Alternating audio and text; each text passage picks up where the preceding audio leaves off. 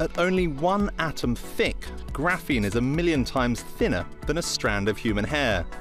It's no surprise then that finding everyday uses for this super material has required significant funding and draws on the expertise of some of the world's top academics.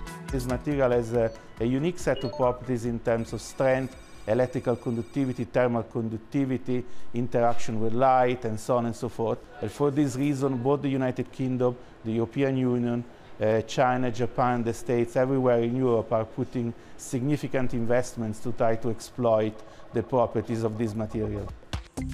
The scientists here coat copper with a graphene and silicon solution. The new material then forms part of a battery cell that faces a rigorous testing system.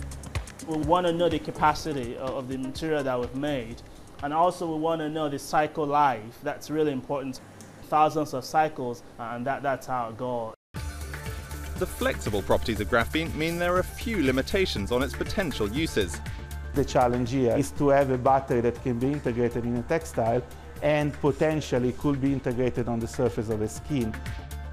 With so much global investment, there's big pressure on researchers to bring graphene to market.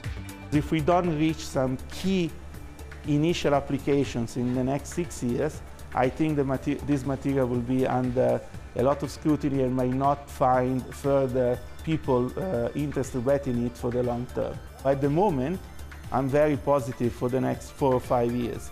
And then uh, we can speak in 2024 and see what happened by then.